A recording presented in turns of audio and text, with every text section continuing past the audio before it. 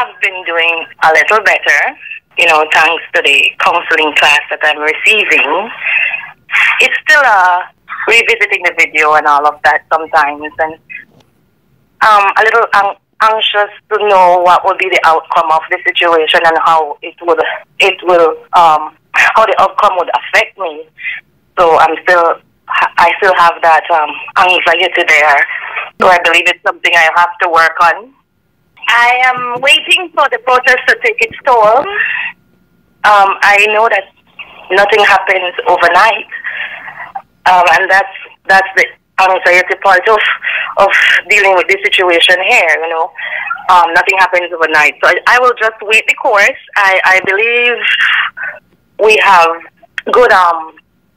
I believe they, they have good intentions and so this could be rectified. This this situation could be rectified in whatever way um, they choose to rectify the situation. All I want it is just to you know settle the matter and um, get get it behind me.